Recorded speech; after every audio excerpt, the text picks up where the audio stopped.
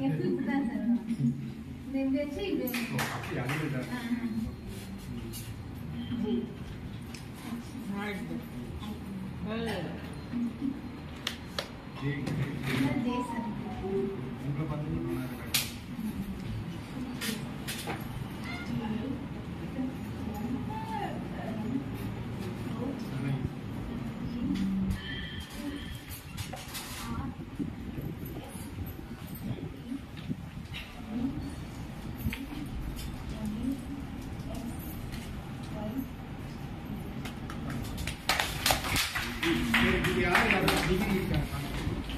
Thane